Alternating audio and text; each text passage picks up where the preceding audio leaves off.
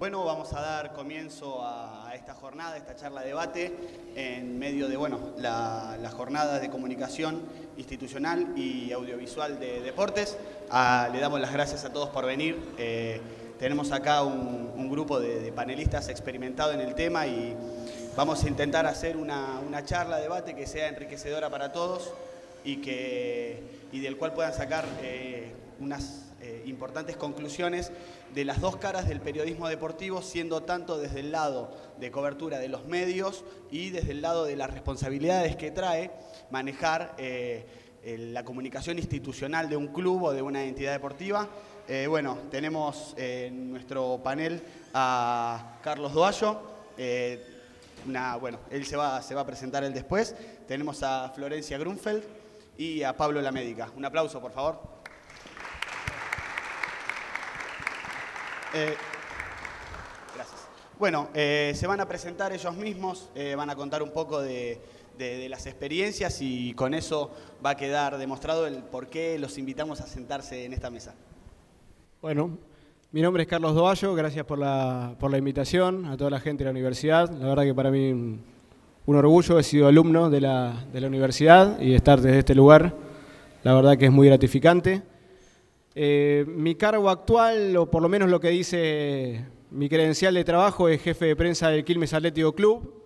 En realidad formo parte de un grupo muy grande eh, bajo la órbita de la Secretaría de Comunicación eh, que tiene la institución. En 130 años que tiene el club, tengo el orgullo de ser el primer trabajador formal, rentado, para poder eh, de alguna manera optimizar la comunicación del club, no solamente hacia los, hacia los medios, sino también hacia los socios. Y bueno, tenía una experiencia previa de 20 años en el periodismo, básicamente en el periodismo local, en, el Grupo El Sol, si bien he pasado por algunos medios nacionales como, como América, como La Red, como Mitre, básicamente siento que puedo llegar a, puedo llegar a servir mi experiencia desde haber atravesado 20 años en, el periodismo local eh, y viendo también todas las, las alternativas que, conlleva el hecho de ser un, periodista local y atravesar todas las estaciones que se quiere hoy un estudiante de comunicación, de periodismo, antes de introducirse en los medios de manera definitiva, tiene que, podemos utilizar el término sufrir. Eh, no, no, no, no es un camino eh, fácil. Justo recién cuando charlaba con los chicos de, la tele, eh, decía que quizás es una carrera que, no, no la carrera universitaria, la carrera buscando la meta, es una carrera que arrancan muchos y que van quedando muchísimos en el camino. Y lamentablemente en el camino va quedando mucha gente talentosa y que no tiene que ver con sus propias competencias, sino que tiene que ver también con un mercado que es, es hostil, es difícil eh, y hay que estar, me parece, además de tener las competencias periodísticas, hay que tener también la fortaleza mental para, para saber que es un camino muy duro el de conseguir un trabajo estable en los medios de comunicación y que bueno, ojalá que ninguno de ustedes, sobre todo los que son periodistas tenga, o, los que, o los que están cursando la carrera, eh, tengan que, atravesar por esa dureza, pero sí saber de alguna manera antemano que son, que son las reglas del juego eh, mucho trabajo precarizado, mucha gente que se cree que el periodista tiene que trabajar gratis o lo, toma con naturalidad que el periodista tiene que trabajar gratis o que se tiene que conseguir su propio dinero. Entonces, bueno, me parece que la experiencia de, de un periodista local en ese sentido puede llegar a ser importante para los que están intentando tener un trabajo en comunicación y también para aquellos que no forman parte del palo y que como, como oyentes, como televidentes, como lectores, eh, a veces juzgan un medio sin saber eh, todo lo que hay detrás y el sacrificio que se hace como para poder editarlo. Mi nombre es Florencia Grunfeld. Primero les agradezco la invitación y, el permitirme formar parte. Eh, yo vengo hoy a, a contar un poco mi experiencia. Soy periodista deportiva. Empecé una carrera en, las primeras web de, Clarín y Olé y siempre fui una apasionada de todo lo que eran los medios digitales. eh, fundé mi propio sitio de hockey porque jugué al hockey toda mi vida y era el, es el deporte que, me gusta. Y me cansé en algún momento de luchar para que los diarios eh, publiquen dos o tres líneas. Eh, me tocaba estar adentro y yo sentía que, quería comentar y, escribir de hockey y cuando me daban el espacio no llegaba ni, ni a empezar, que ya tenía que, cerrar mis, mis tres, cuatro líneas y Internet me, permitió armar y crear mi propio sitio. Hoy lo charlábamos con todos, creo que coincido que, el periodismo es una, carrera difícil, eh, que uno no, está acostumbrado, no va a abrir el diario y va, a encontrar un aviso al cual postularse, creo que tiene que ver también con, la, voluntad que tenga cada uno de, buscar qué le gusta. Eh, Internet hoy tiene infinitas posibilidades para que uno pueda mostrar su trabajo, si, si le gusta lo audiovisual, si le gusta escribir. Eh, y un poco de esa manera eh, armamos Hockey Mobile y buscando cuáles eran las necesidades en ese momento de un deporte en el que, por ejemplo, se jugaban 250 partidos por fin de semana, pero no estaban los resultados. Entonces a mí como jugadora me pasaba que para saber cómo estaba en la tabla tenía que empezar a llamar por teléfono y, y, ver los otros clubes si habían terminado los partidos, cómo había salido, empezábamos a hacer cuentas en una hoja y bueno, generamos lo que fue la primera aplicación mobile para hockey en donde hoy eh, tenemos una plataforma desarrollada que a medida que terminan los partidos nos van avisando cómo terminan, los cargamos y mostramos tablas de posiciones y resultados en tiempo real, lo cual eso con, una cobertura periodística seria y con periodistas dedicados y exclusivos eh, exjugadores y todos que conocen de hockey, se convirtió en el sitio líder de lo que es el, hockey, no solo en, Argentina, sino en Sudamérica. Además tengo la suerte de, formar parte de las transmisiones de Deporte TV de, hockey que se emiten los sábados con el torneo metropolitano y, tuve la suerte de cubrir tanto torneos de leonas y, leones para la televisión pública y creo que hoy y espero poder contar un poco mi experiencia, romper un poco con tanto fútbol que generalmente es el, primer deporte y, por donde todos eh, están interesados en escuchar y contarles cuáles son las experiencias, las necesidades y las cosas que yo creo que que en un medio como un deporte como el hockey se, puede cambiar y sobre todo buscando que, un deporte que hoy tiene a los leones como número uno del mundo y a las leonas, que es el equipo argentino que más cosas ha ganado en, la última década, pueda tener un espacio mayor en los medios de comunicación. Bueno, buenas tardes a todos. Mi nombre es Pablo Lamérica. Gracias por la invitación. Gracias a todos ustedes que están acá presentes. En mi caso particular, eh, bueno, yo trabajo en Teis Sports desde el año 2007. Me ha tocado pasar por distintos estados dentro de lo que ha sido mi carrera periodística. Yo tengo 34 años, la primera vez que entré a un medio de comunicación, Carlito se acuerda, eh, fue a punto de cumplir los 13, con lo cual ya llevo 20 años y, monedas como periodista. Afortunadamente elegí esta carrera que para mí es la más linda de todas y, y por supuesto que cuando comencé siendo muy chico, a los 12, casi 13, en FM Sur, eh, yo desde ese momento soñaba con ser periodista deportivo y entendía que, iba a ser mi futuro. Por supuesto que hay muchos filtros, que no es fácil, que es una carrera complicada, que, hay muchos chicos, eh, por ahí en mi época no tantos como ahora, que se inscriben todos los años eh, en escuelas de periodismo deportivo y son muy pocos los que llegan. Tan cierto es eso como que en muchos casos también es una carrera que muchos eligen por descarte y no por convicción, no por, por pasión, por amor al, periodismo deportivo. Eh, a mí me tocó elegirla porque sinceramente creía que era lo que me iba a dar eh, la, posibilidad de desenvolverme eh, en un futuro. Tuve la chance primero de trabajar en, en FM Sur, en Multimedios El Sol, y, en definitiva eso fue lo que me catapultó a, a llegar a un medio nacional, que obviamente es lo que todos cuando arrancamos deseamos y soñamos. No es fácil llegar a un medio nacional, eh, no es fácil mantenerse en un medio nacional, pero eh, es una situación en la que uno diariamente se siente muy pleno y, trata de disfrutar cualquier situación que le toque vivir estando en un medio como el que estoy yo hoy, en día. La verdad, cuando yo arranqué, si bien soñaba con llegar a donde estoy hoy, jamás se me pasó por la cabeza ser eh, uno de los periodistas que, cubra un evento tan importante como un Juego Olímpico, un Juego Panamericano o inclusive un Mundial de Fútbol, que el fútbol es el deporte que todos queremos y, o al menos eh, el que más nos gusta a la mayoría. Y, eso conlleva una gran responsabilidad también. No, es todo color de rosa, no, es todo lindo, hay que, hay que entender también el lugar que uno ocupa en los medios de comunicación.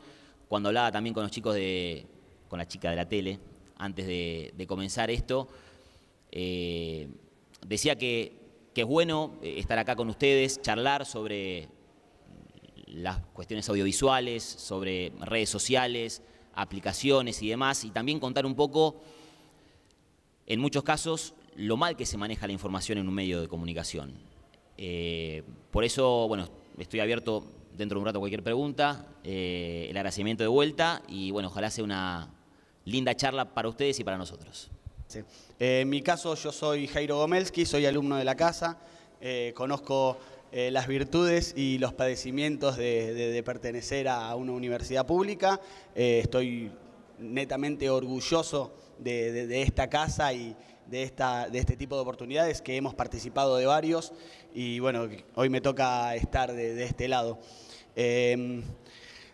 Arranqué hace un tiempo con una página de internet pequeña que se llamaba Pasión Cervecera, cubríamos eh, los eventos eh, deportivos del Quilmes Atlético Club, pero también teníamos una visión política de, lo que estaba pasando en el club. El evento tiene ya, la página tiene ya 13 años, eh, hace 13 años, salvo en las tiras diarias, se hablaba muy poco de, lo que era la política dentro del club.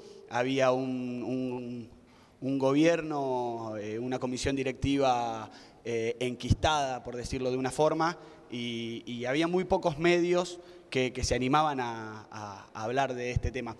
Pudimos instalar esto, muchos años después, bueno, algunos tomamos la decisión de apartarnos un poco del rol periodístico y meternos en política. Eh, hace un año y cuánto, seis meses, un año y menos, menos, un año y tres meses, eh, en nuestra tercera elección eh, ganamos las elecciones por el trabajo que veníamos haciendo, no solamente yo, sino con un grupo de, compañeros.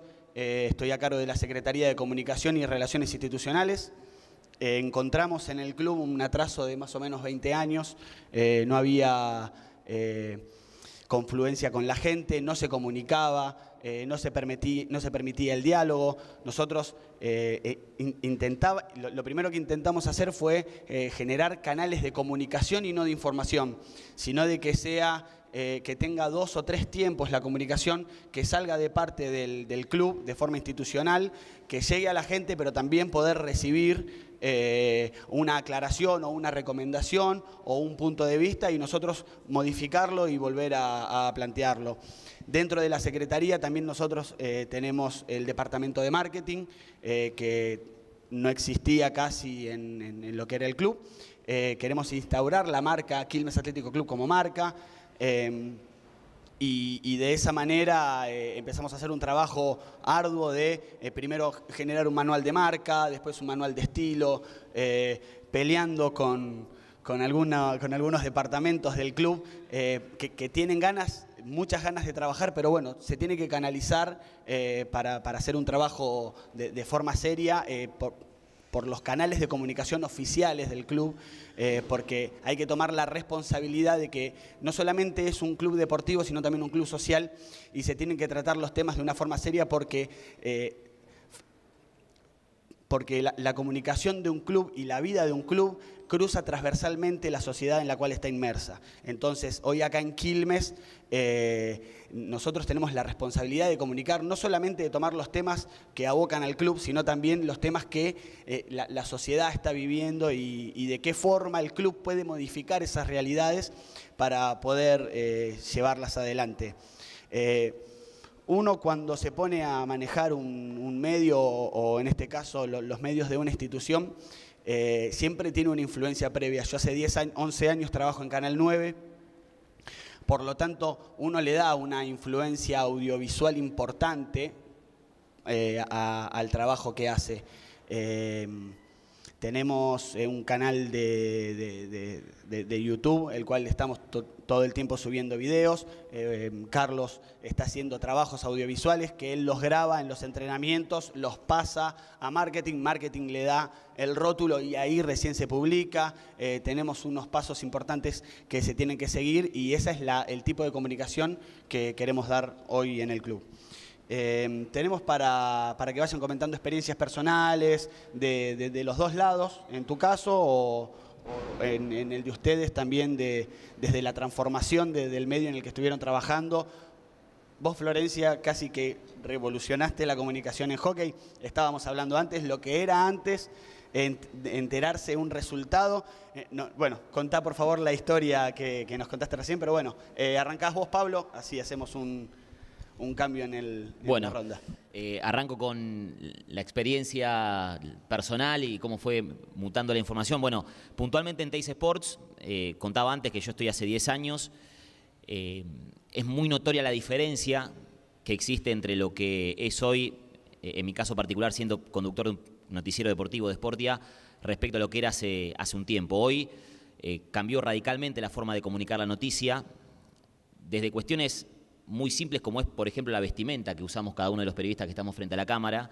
Antes era todo mucho más acartonado, mucho más corbata, saco, eh, sin siquiera tener la posibilidad de hacer algún chiste con el cronista con el que uno charlaba. Hoy eh, eso cambió claramente. Y, después a la hora de comunicar la noticia, mm, hoy en día, eh, al menos nosotros en Teis Sports y, y también uno siendo un habitual consumidor de noticieros deportivos de otras señales, de Fox, de ESPN, eh, y ahora, bueno, los canales nuevos que, aparecieron, TNT Sports y, también Fox Sports. Eh, la verdad que a la hora de comunicar se le está dando muchísima, muchísima trascendencia a lo que es el móvil en vivo, a lo que es la presencia eh, en cada lugar en donde pueda haber una noticia. Antes, en el marco de esto tan estructurado que había en un noticiero, noticiero general y en nuestro caso noticiero deportivo, eh, era mucha presentación de noticia, una noticia que en muchos casos era vieja, pero era como parte de la dinámica respetar un, modelo de comunicar una noticia. Y hoy eso cambió radicalmente, hoy es todo vivo, hoy es estar permanentemente en cada entrenamiento o en cada cobertura eh, que, no tenga que ver con fútbol, con, cualquier otro deporte. Y creo que esa es la principal diferencia, ¿no? la, gran eh, variación que tuvo la forma de comunicar la noticia desde hace 10 años a, esta parte. Dio un giro de, al menos para mí, de 180 grados.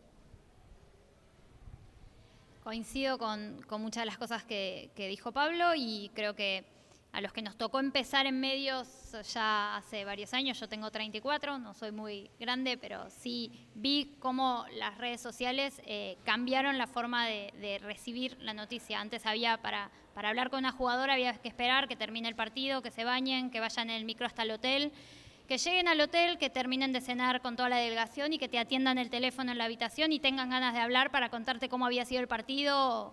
Y hoy termina el partido y antes de llegar al vestuario las chicas ya agarraron un celular, se sacaron una foto, la subieron a Instagram y te ponen que ganaron 4 a 0, que una hizo dos goles y que hace mucho calor en el estadio y hoy son las mismas protagonistas las primeras en brindar información. Eh, un poco a esto lo, ligo a, una falencia muy grande que hoy tiene el hockey, que es que las entidades más importantes no tienen jefe de prensa.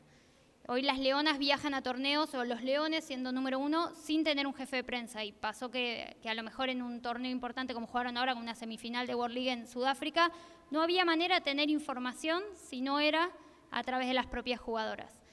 Em, un poco ligado a lo que, lo que hablábamos cuando yo decidí armar mi sitio, armar una aplicación móvil que después migró hacia lo que hoy es un sitio responsive que, te da la facilidad de que en cualquier dispositivo móvil se adapte y tenga eh, velocidad y, tenga la, posibilidad de ver resultados y, y tablas de posiciones, un poco fue buscar una manera de brindar un servicio y que, no sé, yo jugaba siempre fui medio mala, así que jugaba en la C de, un club como Gimnasia de Esgrima, que jugábamos contra equipos que el resultado podía tardar dos horas en aparecer porque no había ningún periodista ni nadie viendo el partido y dependíamos de que un entrenador una jugadora nos atienda al teléfono.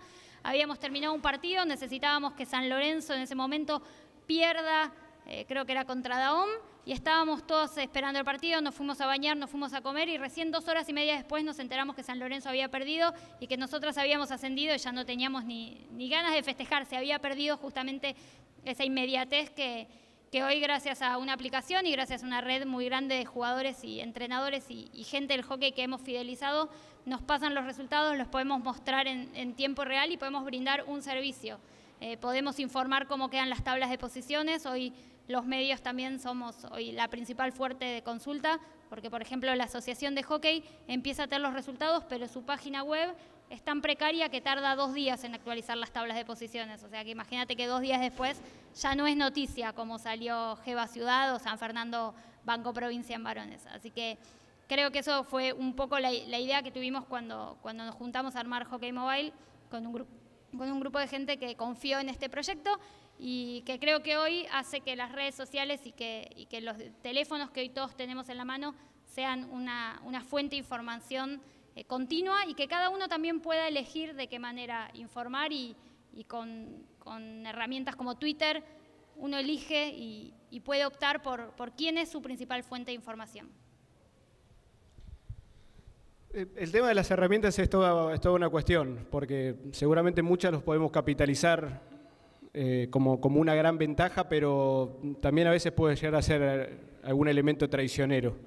Recordábamos que con Pablo, cuando él entró en FM Sur, casi que entramos juntos, lo que pasa es que él tenía 13 y yo 24, eh, pero para hacer un, un, programa de radio que empezaba a las 12 del mediodía, nosotros indefectiblemente teníamos que estar a la radio a las 10 de la mañana, porque había que subir a la redacción del diario El Sol, a la cablera, que era ni más ni menos que una computadora que estaba conectada a una impresora de punto y ahí estaban los cables de Telam. Y capaz que para saber cómo había salido la selección, no tanto la selección nacional mayor, porque siempre tiene un nivel de cobertura, pero las leonas, un tenista en un, en un torneo, incluso Gran Slam, había que subir a la cablera. Eh, y, Telam te daba, la, te daba la noticia. Seleccionábamos cinco o seis cables y bajábamos con eso eh, para de alguna manera alimentar a lo que son las noticias de ayer, que era lo que había salido en los diarios, más la producción propia de un medio local, que es llamar a los jugadores, llamar al periodista que está en el entrenamiento. Cuando nosotros teníamos un celular en toda la radio que era una valija. Era una valija que la abrías y salía un tubo con el cable enrollado y eso es lo que tenía el periodista de cobertura y nosotros teníamos la única posibilidad de charlar con un protagonista era por teléfono de línea. O sea que indefectiblemente hace 20 años para hacer un programa de radio había que ir dos o tres horas antes al estudio. Hasta hace tres meses estuve trabajando en la radio y muchas veces me tocó estar estacionando con la cortina del programa eh, sonando y, llegar corto de respiración y de todas maneras no había sido irresponsable.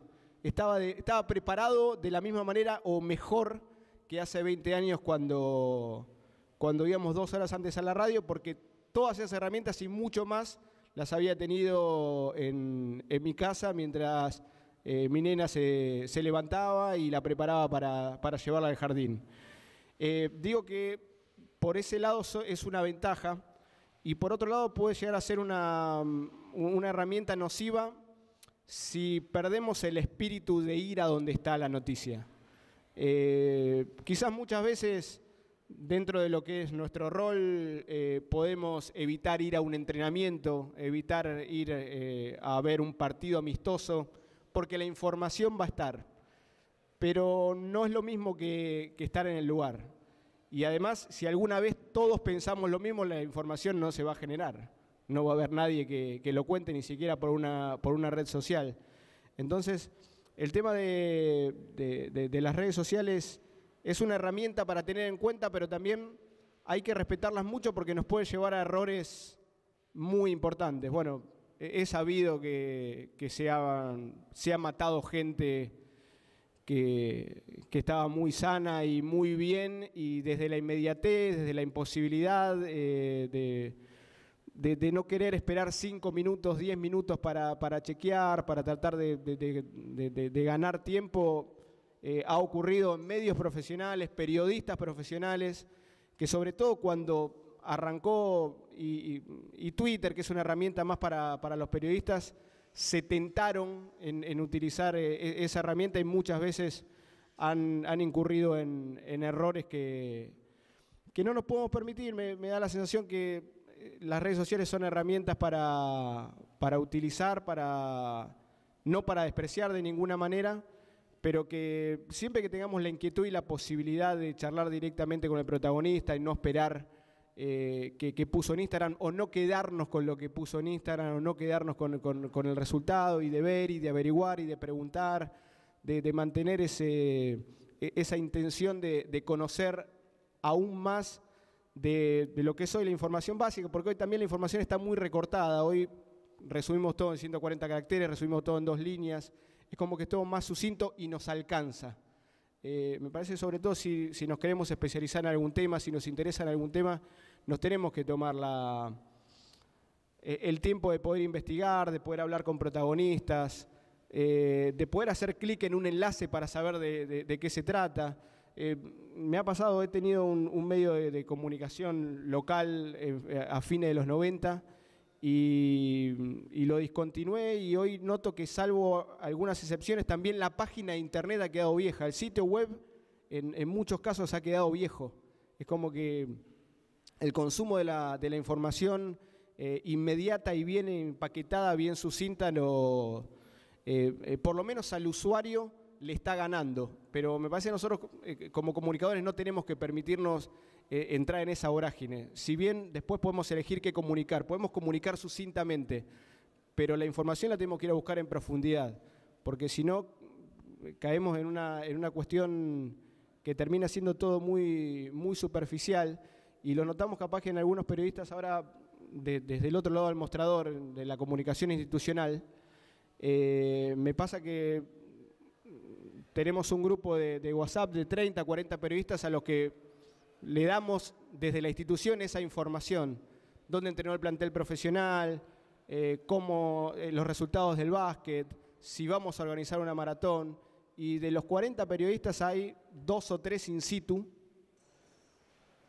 y dos o tres que te llaman para querer saber algo más y 34 que se quedan con eso, que se quedan con lo que nosotros como institución le queremos comunicar que para nosotros como institución puede ser muy conveniente, porque de alguna manera comunicamos lo, que queremos y nos encontramos con 34 de 40 periodistas que no quieren ir más allá, que se conforman con lo que le damos.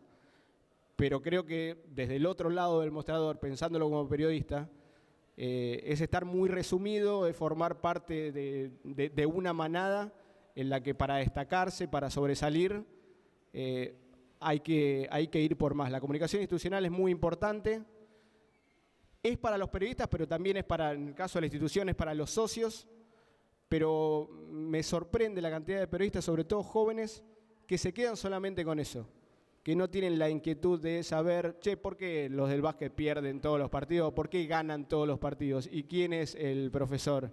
¿Y por qué se lesionó este jugador? ¿Y por qué esas puertas cerradas? Se quedan con lo que le das. Y me parece que es un gran desafío para todos los que están trabajando en los medios, no quedarnos con lo que nos dan, sino nosotros tratar de generar nuestros contenidos. Pablo. Perdone, no algo en relación a lo que decía Carlos recién eh, sobre las redes sociales y, el manejo nocivo en muchos casos. Eh, yo creo que hoy en día hay una, una, suerte de desesperación de parte de los periodistas por llegar a la primicia, ¿no? Y, y el llegar a la primicia lo digo a como dé lugar. Eh, sin hacer el ejercicio mínimo de cualquier periodista que es chequear la información. Hoy uno está, porque además, por ejemplo, Twitter es de, un nivel de, de golatría absoluto, absoluto. Nuestro gremio, el de los periodistas deportivos, somos muy ególatras, narcisistas, nos gusta poner la opinión que nos den más retweets o más favoritos, es así, lamentablemente, y eso también nos lleva, porque no me voy a excluir, soy periodista deportivo, a justamente eh, entrar en esa vorágine de, la desesperación por ser el primero que suba a Twitter una determinada información. Lo decía Carlos, se ha matado gente en Twitter y, se ha quedado gente sin trabajo también por Twitter.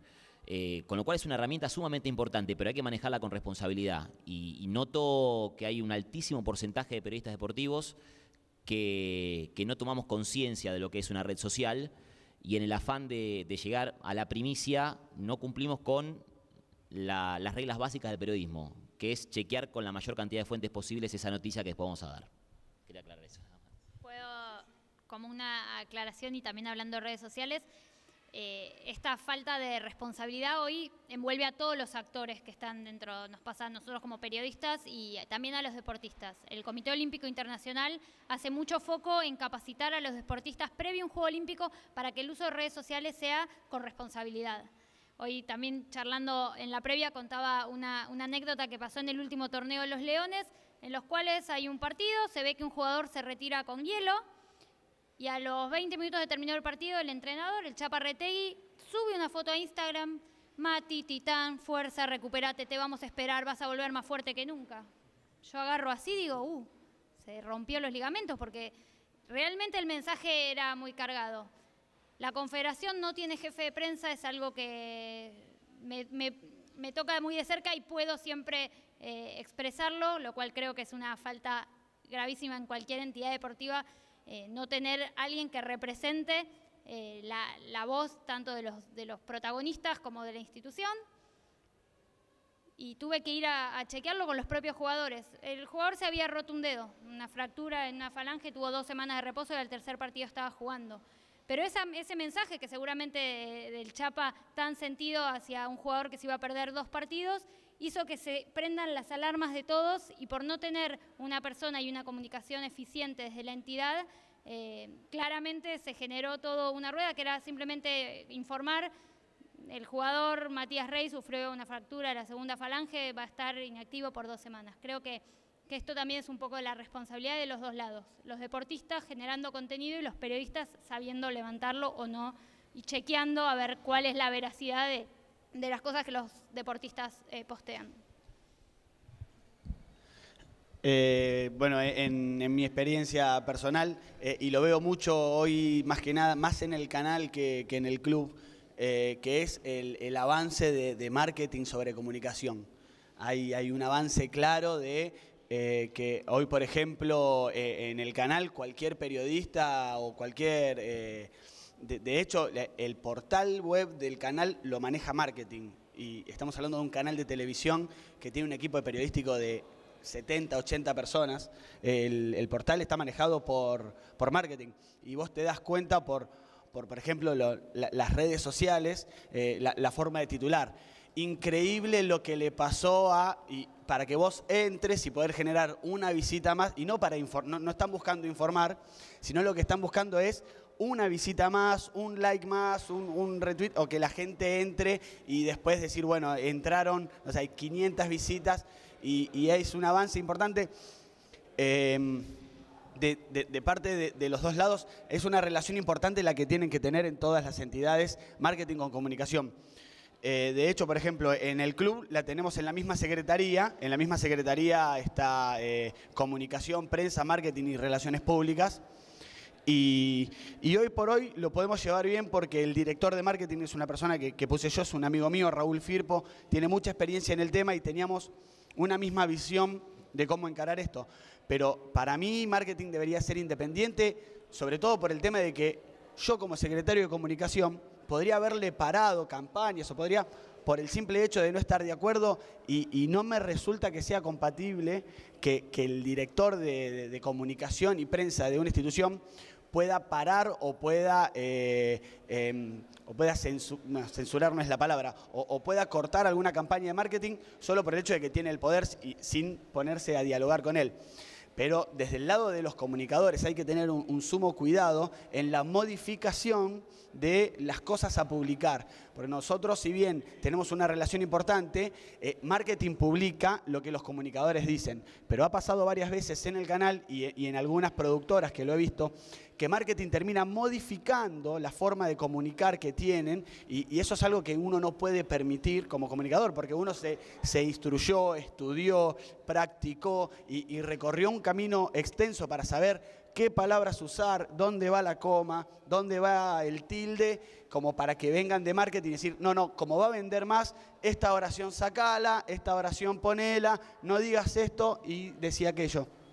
Es una relación importante en la cual hay que tener eh, un sumo cuidado a la hora de llevar adelante un medio o a la hora de defender el trabajo de cada uno. Bueno, ya presentado los, los, panelistas y ya, eh, ya comentadas sus experiencias por cada uno, vamos a pasar a hacer algunas preguntas eh, que son iguales para todos. Vamos a ir cambiando el sentido de la ronda porque el último que habla es el que le quedan menos temas. Para vos quedaste en el medio, Flor el último que hable es al que menos temas le quedan. Así que eh, después, eh, al terminar esta, esta ronda de preguntas, vamos a poder eh, contestar preguntas que tengan en el, en el público.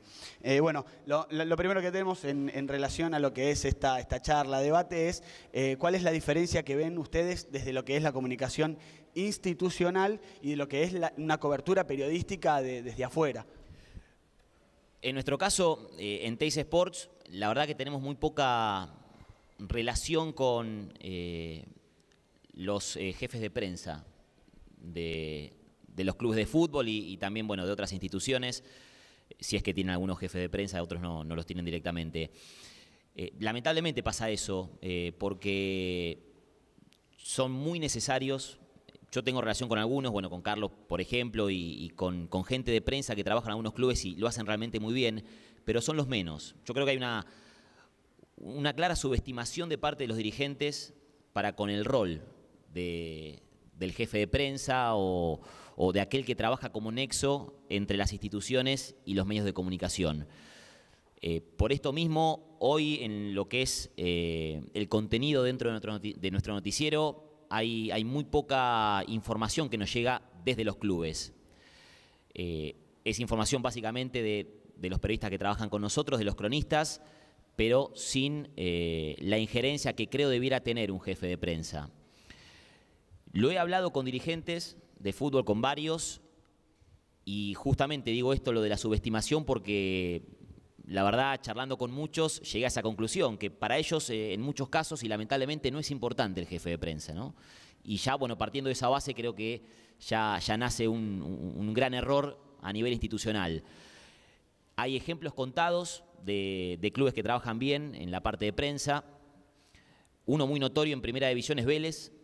Vélez es de, los clubes que, más y mejor información le, pueden dar al periodista, al que va el día a día, o a mí me ha tocado hacer campo de juego el, año pasado en las transmisiones de primera, y, la información que te brindaban era una información sumamente necesaria.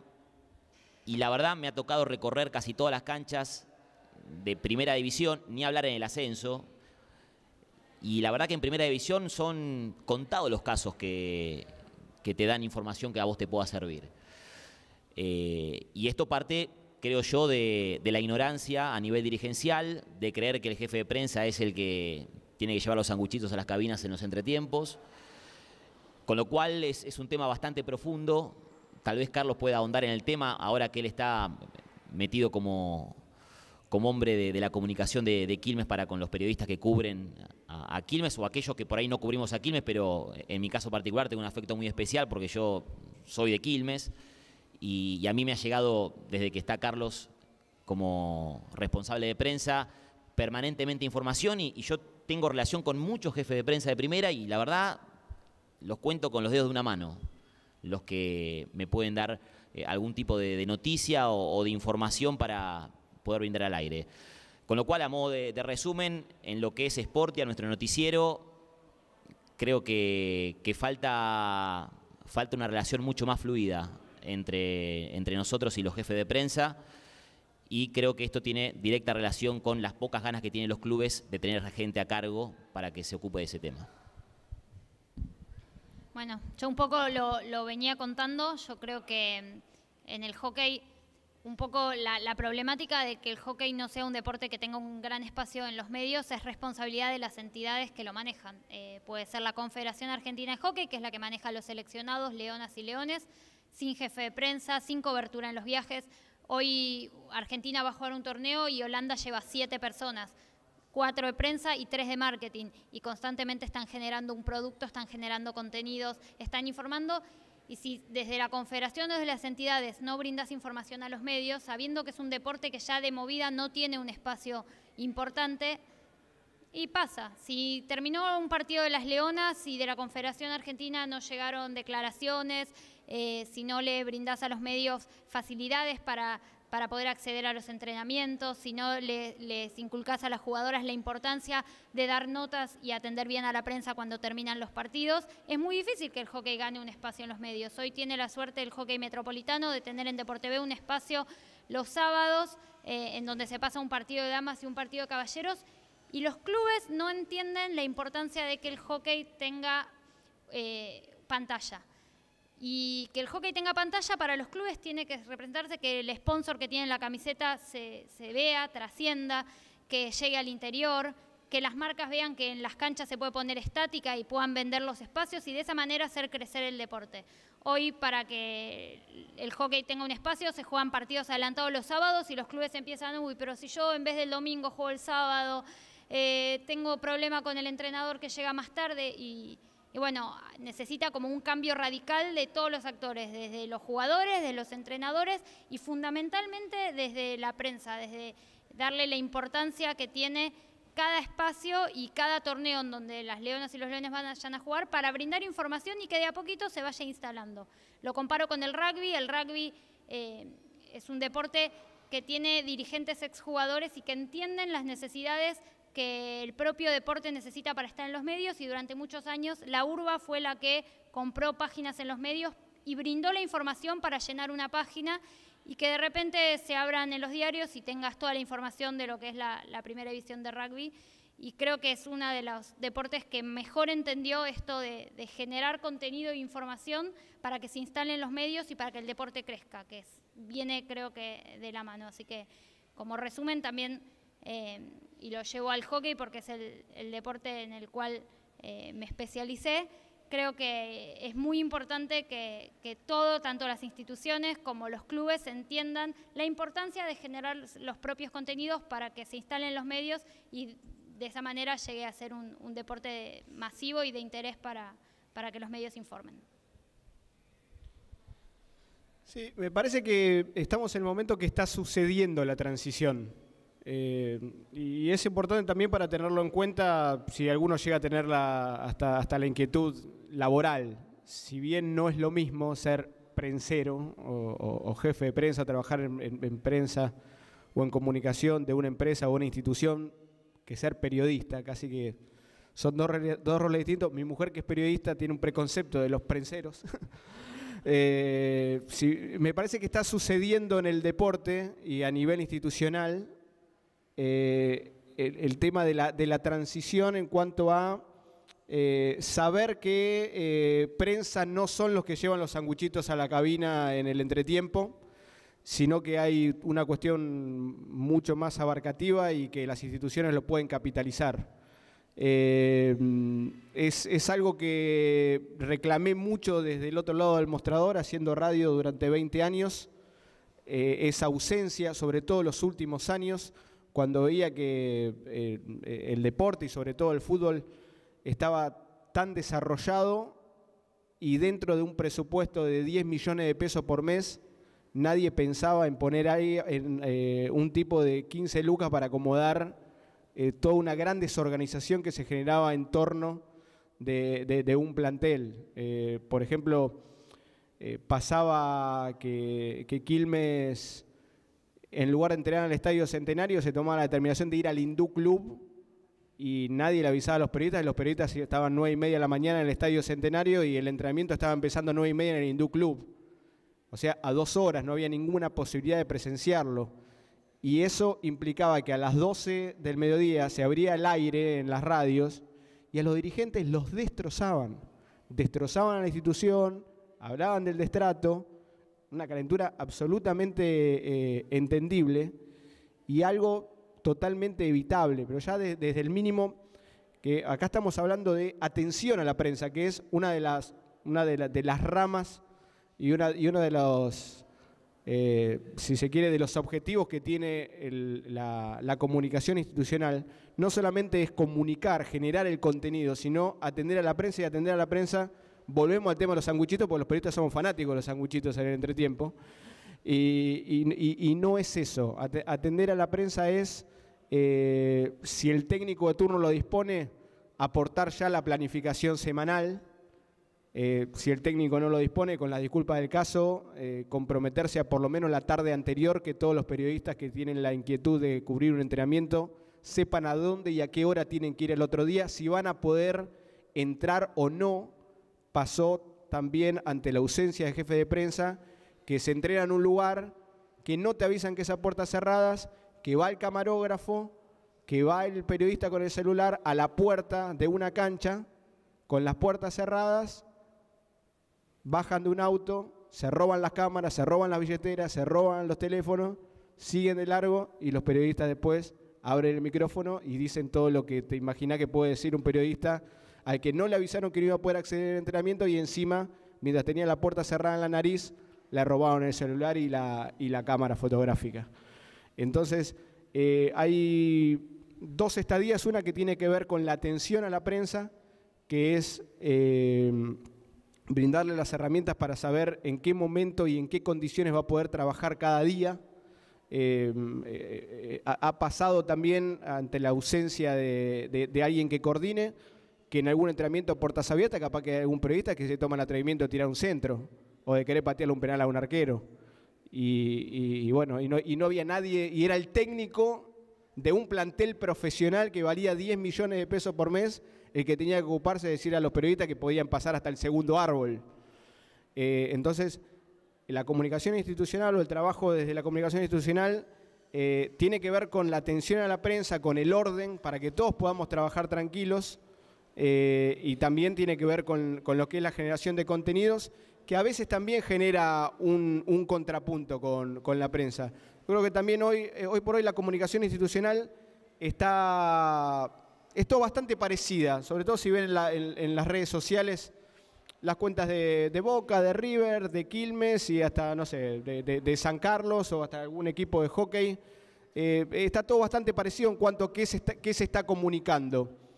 El entrenamiento, la foto del entrenamiento, la foto del vestuario en la previa, la plaquita con los concentrados o el GIF con las caritas de los jugadores que, van pasando. Y, me parece que también esto con, el tiempo, así como hay estilos de periodismo o, hay algún noticiero que es de saco y corbata, alguno que es más descontracturado, también desde, desde la comunicación institucional empieza a suceder y ahí va a existir un contrapunto con, con la prensa porque eh, también algunos periodistas ven a la comunicación institucional como una competencia. No estaban acostumbrados a que eh, salga el parte médico, salga alguien del consultorio del doctor y les dé el parte médico. Eh, quizás muchos están acostumbrados a, Tordo, ¿qué pasó? Decime la posta, o me la va a decir a mí porque yo le entro mejor y el otro no, no, no le entra, no tiene piel, o me anticipo.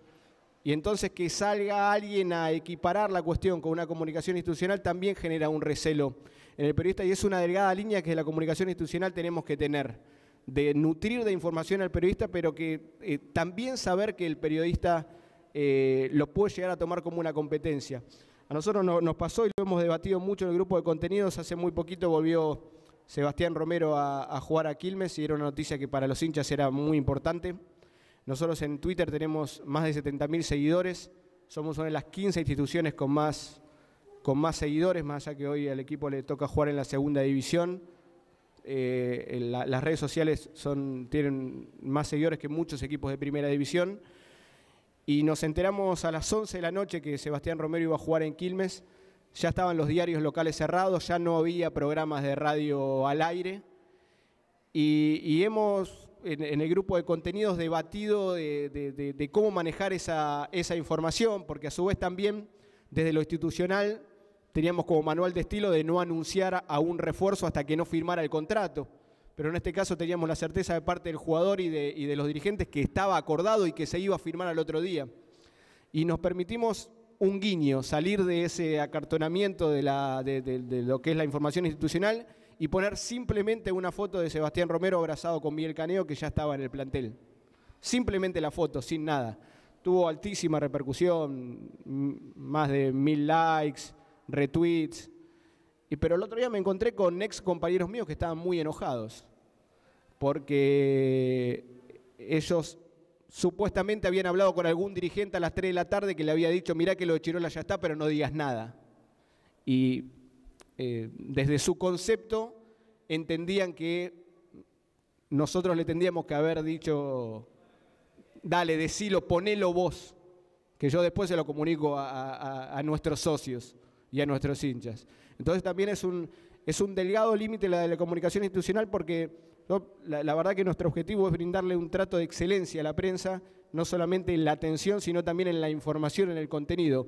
Pero a veces te puedes tomar con que eh, algunos eh, entienden que estamos yendo más allá y que hay contenidos que son propios del periodista. Entonces es una, es una línea que tiene que ver con que no están todavía muchos periodistas acostumbrados a convivir con prensa institucional. Lo, que dijo Carlos eh, y, Florencia se, suscribe totalmente. Eh, muchas veces está el, tema ese en que el, periodista partidario puede, puede ver una competencia en, en la comunicación institucional. Eh, intentamos siempre de que eh, eh, la, información que salga por, un medio institucional tiene que ser 100% veraz. No, no puede todavía tener una duda. Nosotros, por ejemplo, somos el último medio de Quilmes que oficializa el horario y el día de partido. O sea, Quilmes va a jugar el sábado a las 4 de la tarde. Bueno, hasta que no salga en el boletín de AFA, nosotros no lo, no lo decimos. Y Pablo lo dijo tres días antes. Pablo fue a AFA, habló dijo, che, ¿cuándo juega Quilmes? El jueves, el sábado a las 5. Perfecto, dijo, Quilmes, Aldo Civi el sábado a las 5. Y nosotros esperamos hasta el jueves, sale el boletín de AFA, eso no se mueve. ¿Por qué? Porque el partidario puede volver atrás. Puede borrar un poco y decir, miren, ahora se modificó y en vez del sábado a las 4 va el domingo a las 3. Desde la, desde la, desde la comunicación institucional del club no se puede volver atrás. O sea, una vez que ya se dio la información, esa información tiene que ser 100% fidedigna porque no, entonces siempre se tiene que chequear, rechequear, esperar las fuentes oficiales, eh, no apresurarse. Y esto es lo que decíamos, eh, con lo que son las negociaciones de contrato, el caso de Chirola es emblemático. Nosotros siempre es, todo el mundo hablaba de, cuáles eran los refuerzos, menos nosotros, y después nosotros salíamos con la firma del jugador. Este caso que fue que a las 12 de la noche, aparte un tuit que se subió a las 12 de la noche. Lo, ponemos, no lo ponemos, sí, no. Claro, la gente, encima que fue medio enigmático, porque solamente fue una foto de dos jugadores abrazados que compartieron un plantel hace tres años. Sí, cuatro Hace tres años habían compartido plantel. Quedó la foto esa en el archivo. ¿Por qué no se sube esto? Se subió.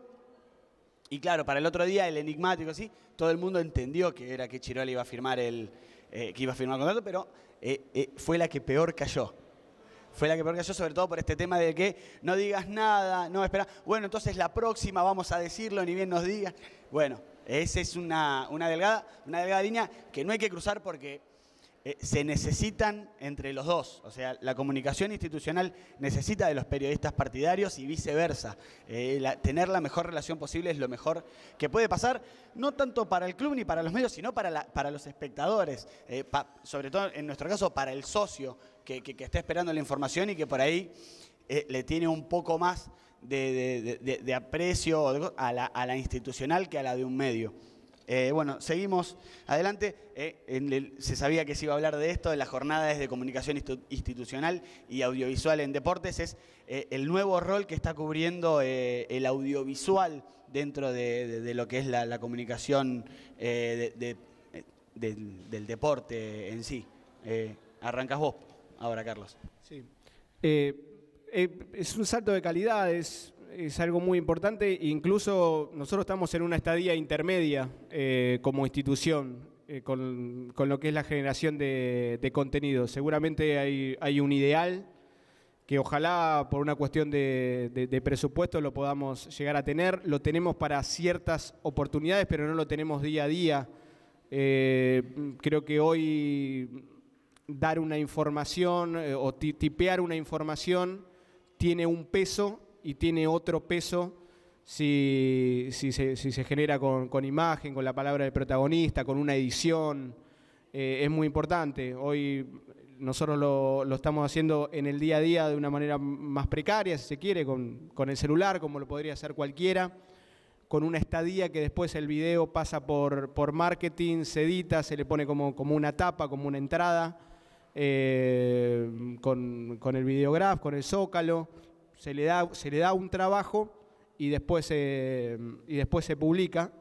Pero yo creo que dentro, del, dentro del ideal vamos a que esto también, y ojalá en el futuro pueda generar otro, otro trabajo, otra fuente de trabajo, alguien que, no solamente esté generando el contenido, pensando el contenido, sino alguien profesional para, con un equipamiento como para poder firmarlo, como para poder subir en tiempo real, hacer transmisiones en vivo. Eh, eh, hay, hay un abanico muy grande que se puede hacer de forma precaria, como podemos hacer cada uno de nosotros cuando vamos a ver un recital y ponemos la transmisión en vivo de, una canción. Nosotros lo hacemos con el precompetitivo del primer equipo, eh, haciendo valer nuestra posibilidad de estar a un metro de, los jugadores cuando el resto está eh, detrás de un alambrado o, dentro de una cabina. Eh, yo creo que tiene un peso, un contenido muy grande. Nosotros estamos trabajando de, una manera semiprofesional, si se quiere, porque la primera instancia, la de la filmación, es casera y después se le da un trabajo como para, como para mejorarlo, pero que, vamos rumbo a eso. Vamos rumbo a que casi, casi hoy no veo comunicación institucional, eh, posteo en Twitter, mucho menos en Facebook, en Instagram, eh, que no esté acompañada por una imagen. Es más, creo que, que ninguno de nosotros eh, si tienen redes sociales, de 10 posteos se permiten eh, hacer 2 de, dos de 10 sin imágenes, pero después siempre lo están acompañando por, una imagen. Por lo cual creo que es importante y que también en el tema de la precarización o el de todo en uno, es un, riesgo el hecho de, que caiga todo en una misma persona. Por eso digo, el ideal sería eh, para mí como institución poder tener, generar contenido audiovisual y, más de una persona, no que el que está con el teléfono le pregunte al jugador, que salga con un, con un delay de audio, es un, objetivo que la verdad eh, tenemos que es profesionalizarlo porque me parece que hoy el, contenido, la información, salvo lo que es el formato de la vieja gacetilla que se le manda a la, a la prensa sobre todo a la prensa gráfica, después no, casi ya no se genera contenido sin que tenga un formato audiovisual. Sí, creo que está claro y, yo creo que, estas herramientas que hoy todos tienen eh, ayuda y permite que toda la información que querramos dar, eh, hoy los celulares sacan buenas fotos, filman, eh, se escucha bien. me tocó estar en la primer web de, de Clarín y Olé y me acuerdo cuando llegaron las primeras cámaras digitales y nuestros títulos pasaron de ser de redactor a redactor multimedia, porque nos sacaban con una cámara digital que era un ladrillo y nos mandaban a los entrenamientos y me acuerdo que volvíamos con unos videos pesadísimos, tardaban dos horas en subir, la calidad estaba toda pixelada, pero era la primera herramienta audiovisual que, teníamos y podíamos a nuestras notas acompañarlas por la foto o el video de, un jugador eh, hablando y era como la revolución de la web. Hoy las herramientas permiten que, un video se suba rápido, que la calidad sea buena y que nuestro trabajo también pueda complementarse y, tener un valor agregado, demostrar eh, que estuvimos realmente en el lugar y con el protagonista. Me tocó estar al frente de, un curso de periodismo de tercer año y, y, a lo largo de varios años. Y el primer año, uno porque los leía, se daba cuenta quién había ido realmente a cubrir un partido y quién no quién era el alumno que había como copiado la nota de algún medio, le había cambiado las cosas, y hoy simplemente con decirle, buenísimo, tienen que ir a hacer una crónica y acompañarlo de un video con un testimonio de jugador, hace que evidentemente si quieren aprobar la materia y hacer un buen trabajo, vayan. Y también le pierdan el miedo a la cámara, eh, es un ejercicio que, está bueno, el tener adelante a, a un protagonista y escucharlo y preguntarle y repreguntarle hoy realmente como práctica se puede hacer tranquilamente con un teléfono, así que creo que, el valor agregado de, los celulares hace que, le podamos dar ese, valor agregado al trabajo. Salvo que le pidan la foto o el video al jefe de prensa, ¿eh? porque me ha pasado. Entonces un videíto, me mandás una declaración de tal jugador que tengo que hacer un trabajo, bueno, venite, venite, la idea es que vengan. A mí videos me piden todos de Sol Pérez. Todos los días de mi vida, video de Sol Pérez, un saludito, pero bueno. Eh, en nuestro caso puntual, eh, nosotros, eh, en lo que es la cobertura diaria que tenemos en Teis Sports, al tener, la verdad, un, grupo grande de cronistas, no, no tomamos tanto contenido que venga de, de afuera, a, nivel institucional, para poner al aire, porque además hay casi una bajada de línea en relación a lo que decía también Carlos antes, de, de que justamente se priorice lo que produce Tex Sports eh, y que justamente eso no vaya en detrimento de, de por ahí tener la chance de, de subir alguna información de, de otro medio. Sí le, le damos mucha, mucha importancia y, llenamos minutos y minutos de nuestro noticiero con lo que llega de afuera.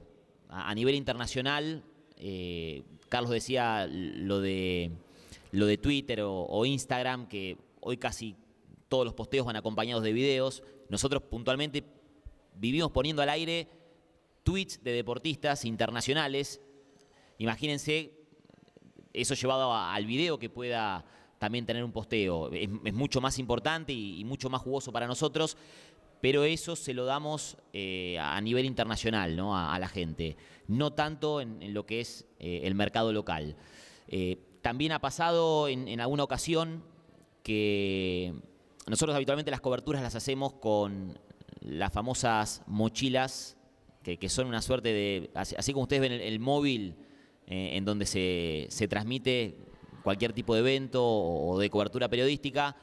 Desde hace un tiempo a esta parte se ha simplificado mucho el trabajo de, los periodistas y de los productores porque están las famosas mochilas 3G o 4G que trabajan con chips de, teléfonos y eh, a la gente le permite observar en vivo lo que pasa en cualquier parte del mundo eh, al instante y con simplemente una mochila, porque es eso, es una mochila muy chiquitita que cumple la función del viejo móvil, del camión enorme que eh, habitualmente hoy se ve en, casos contados.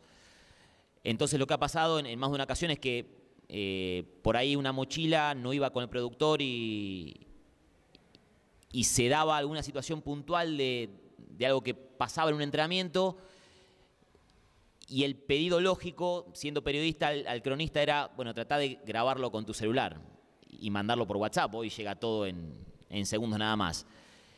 Y se hizo un par de veces y, después se entendió que, eso era contraproducente. Contraproducente porque en definitiva eh, se le estaba sacando el trabajo al camarógrafo, al productor de, la mochila que, iba a cada entrenamiento y que eventualmente a esa cobertura no fue porque el productor decidió que no vaya y justo pasó algo que eh, hubiese estado bueno transmitirlo en vivo, pero no se pudo. Entonces, el pedido lógico de, cualquiera es, bueno, dale, grabalo con el celular. Bueno, eso ya, eh, al menos en, nuestro canal, no, se hace. Eh, y después sí ha pasado también que por una cuestión de presupuesto, el canal ha decidido en algunas coberturas puntuales no mandar productor. Entonces los camarógrafos, creo yo, con buen tino, decidieron que eh, ellos no, se dice levantar la mochila, es ponerla en funcionamiento para que se entienda más o menos. Es un trabajo sencillo, de apretar pocos botones, creo que cualquiera de nosotros lo podemos aprender en 10 minutos, pero es una tarea destinada al productor. Como por una cuestión presupuestaria, en muchos casos se ha decidido en algunas coberturas no mm, destinar el dinero correspondiente para que vaya un productor. Los camarógrafos, con la anuencia obviamente de los cronistas y, de la jefatura de producción decidieron que nunca se puede levantar una mochila sin la presencia de un productor. Eso conspira contra el producto, pero no deja de ser, me parece, algo positivo para el mercado laboral, ¿no? que la verdad últimamente está bastante bastardeado. Sí, esa experiencia la tuve en el canal también. Eh, de hecho, yo, he llegado a ser delegado en, el canal y, en el hay, hay que intentar que la, las, las innovaciones tecnológicas que son siempre para el lado de, los directivos no terminen atentando contra, contra, contra el trabajo de, cada uno, porque hoy puede ser que, que, el que eh, el que no sea el destinatario del presupuesto es el productor.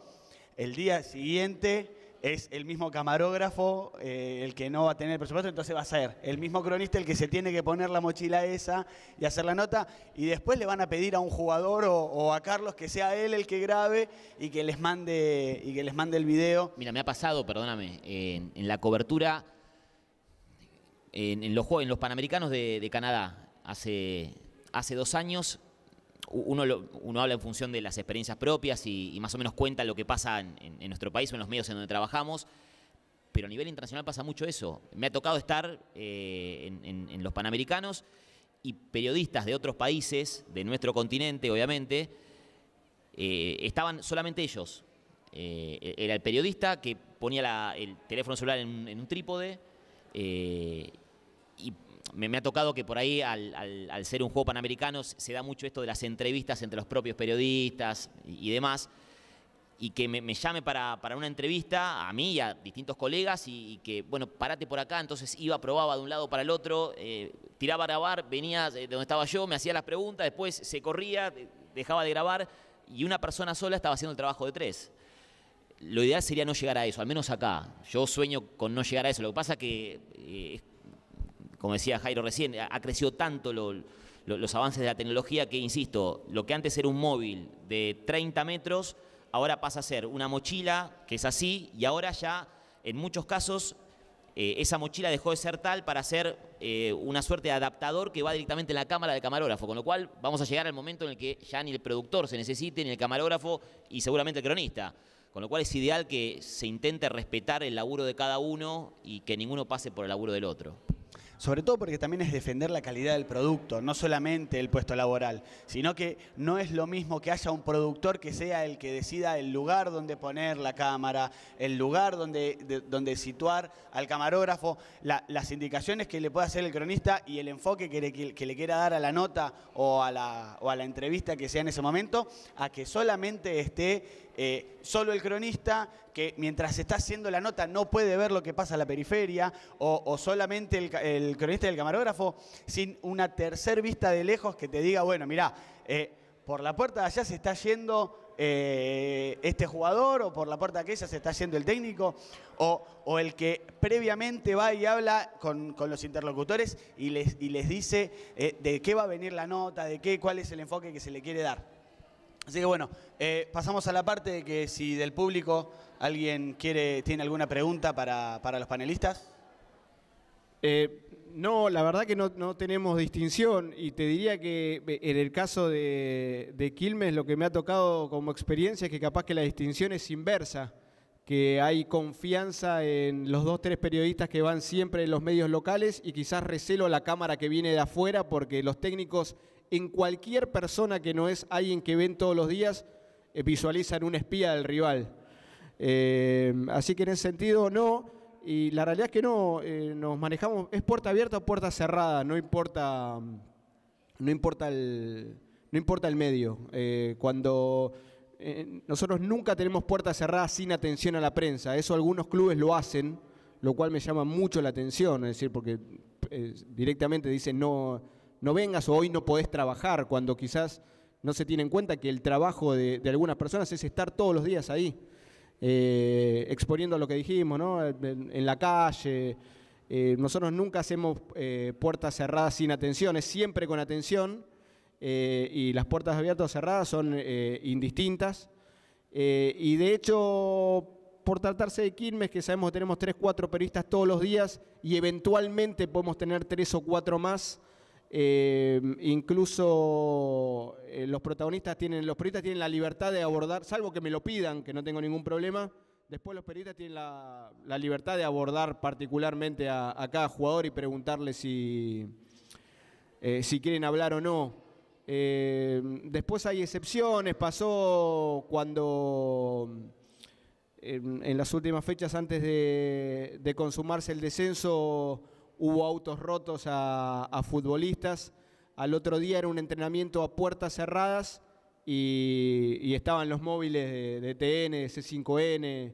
Y en ese sentido yo entendía que el trabajo de, los muchachos era, eh, era tener el testimonio de algunos jugadores, sobre todo los que habían sido agredidos, y también para acompañarlo tener algún, algún tipo de contenido de imagen de práctica por lo cual nos pusimos al servicio de los chicos que estaban haciendo los móviles, paramos jugadores en la puerta para preguntarles si querían hablar, de hecho cuatro o cinco accedieron a hablar, y después, más allá que era una puerta cerrada, que el técnico había determinado en función de no querer mostrar el equipo, eh, le pudimos hacer entender al entrenador de turno, que era Cristian Díaz, que lo que estaban necesitando los móviles en este caso era acompañar la imagen y que no tenían ningún tipo de intención eh, futbolística, sino que era una intención de acompañarla, eh, eh, sumar contenido audiovisual y, bueno, se, les permitió filmar cinco minutos de la práctica. Así que no, en ese sentido no tenemos ningún tipo de distinción entre el medio local y el medio nacional.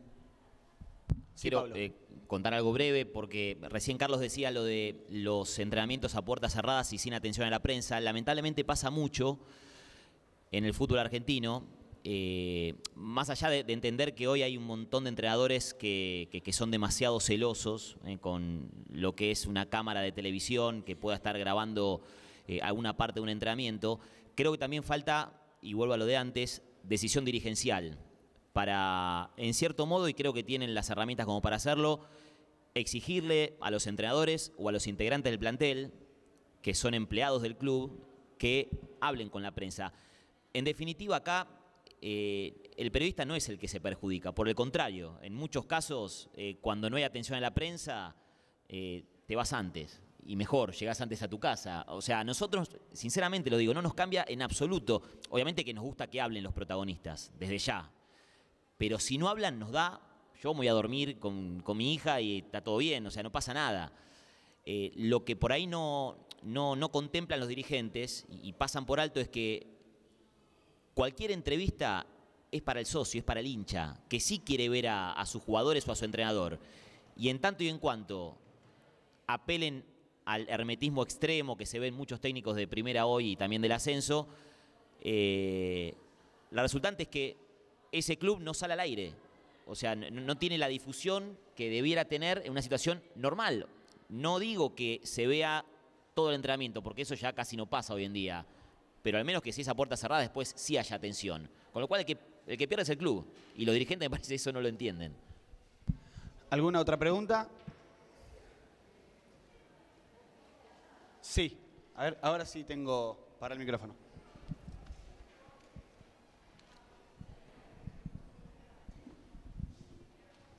Em, bueno, le quería preguntar a Florencia, en base a, lo que venías comentando sobre la escasez de cobertura del hockey, sobre todo que es un deporte muy regional, hay muchos, en la zona tenemos muchos, muchos equipos y gente, sobre todo en el, en el femenino, ¿no? Que, ¿Cuál crees que es el inconveniente que hay con el deporte?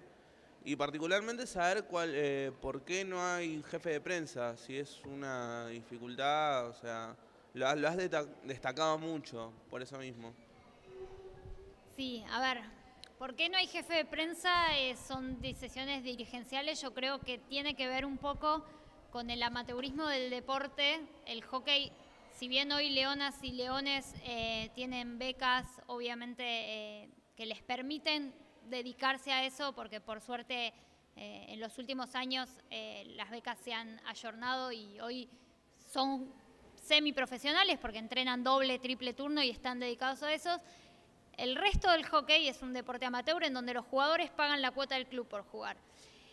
Eso hace que, en la mentalidad de obviamente de los dirigentes y de los clubes no se le dé la importancia que tiene eh, el deporte y el espacio que puede llegar a tener los medios. Yo hoy contaba que para jugar en la televisión los clubes más importantes de la primera a lo mejor tienen que cambiar el día y la cancha, pues se juega en el cenar en cancha neutral y los jugadores, los entrenadores y los mismos dirigentes están más pendientes si les conviene el cambio o no. Si a mí me conviene ir a jugar en el cenar con San Fernando que juega en agua, pero a mí me tocaba jugar en mi cancha de arena, obviamente el hockey, el cambio de superficie a nivel internacional no existe eh, se juega solo en sintético de agua y localmente la mayoría de las canchas son de arena por una cuestión económica. Hacer una cancha de agua sale cuatro veces más que hacer una de arena. Y todas estas cosas hacen que, el hockey todavía no haya dado un salto de calidad en un montón de aspectos. Eh, en cuanto a por qué no hay jefe de prensa, sí hay un jefe de prensa en lo que es la confederación, pero no, no creen que sea conveniente invertir en una persona que viaje junto a los planteles eh, entendiendo que sería o sea, generar contenido diferencial y buscar un espacio en los medios. El hockey es el deporte número uno de la mujer en la Argentina. A nivel internacional es más popular en hombres y en Argentina es el deporte más popular de las mujeres. Y viene de la mano también con que no es un producto comercialmente vendible. Son pocas las marcas que apuestan al hockey, pero uno piensa, si no tenés difusión en los medios, si no tenés visibilidad en televisión, ¿cómo voy a hacer yo para conseguir un sponsor que apoye eh, la camiseta de un club? Eh, en los últimos años se ha dado que muchos nos han, convocado para poder eh, escucharnos y, tomar en cuenta estas opiniones. A mí me toca del lado del periodismo porque soy periodista y trabajo en marketing para una empresa de hockey. O sea que veo y estoy interactuando con las dos áreas, con la, parte de marketing y la parte de periodística. Eh, en Quilmes, obviamente que, el hockey es un deporte muy popular, hay un montón de clubes y tiene bastante peso, eh, lo sabrán eh, en Quilmes. el hockey realmente es, importante, tiene club en Quilmes hoy jugando el top 10 en lo que es la primera de caballeros y el, equipo femenino militando en la primera B pero creo que viene también desde ese lado, desde que falta un, gran salto desde lo dirigencial, desde buscar que, sea un negocio, y lo comparaba con el rugby, creo que el rugby lo supo hacer y el hockey todavía no.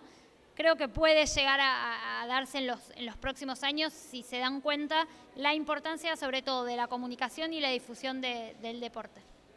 ¿Quedó claro? ¿Alguna otra pregunta? Sí.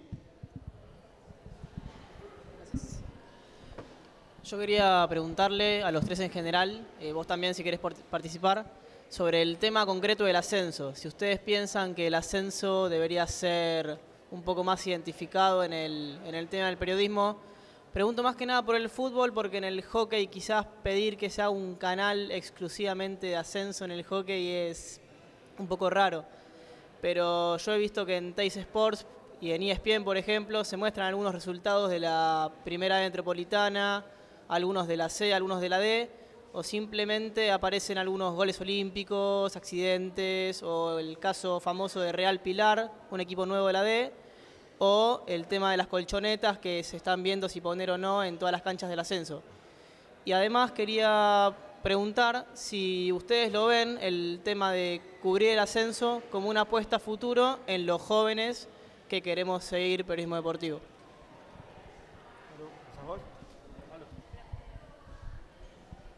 Mira, el tema del ascenso es un tema que habitualmente hablamos con los chicos de, la producción eh, en Sportia. Lo que pasa que es, un tema que, no se puede resolver fácilmente, por una cuestión de disponibilidad de cámaras, eh, y debido a eso casi que hacen malabares para cubrir lo que se cubre hoy en día, al menos en Teis Sports. Yo creo que se cubre poco en Teis Sports en relación a lo que me gustaría a mí que se cubra. Eh, yo comencé con Carlos trabajando eh, en Quilmes, cuando Quilmes estaba en la B Nacional. He recorrido todas las canchas del ascenso. A mí el ascenso me apasiona.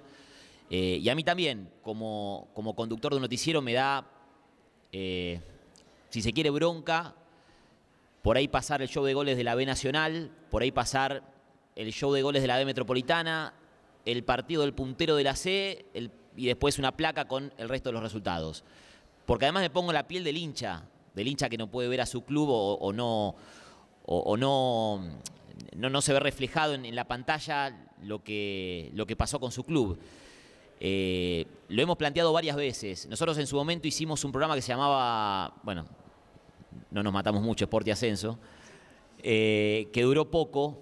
Era una época del canal bastante, si vale el término, dulce, en donde cada fin de semana, más allá de los camarógrafos fijos que hay en el canal, que son muchos, lo que pasa que el número de camarógrafos que hay en el canal se dividen para los partidos de primera, dentro de los partidos de primera está Sportia, está paso a paso, está Libero si quiere mandar a hacer alguna nota puntual, con lo cual son pocas las cámaras que quedan para los partidos de ascenso.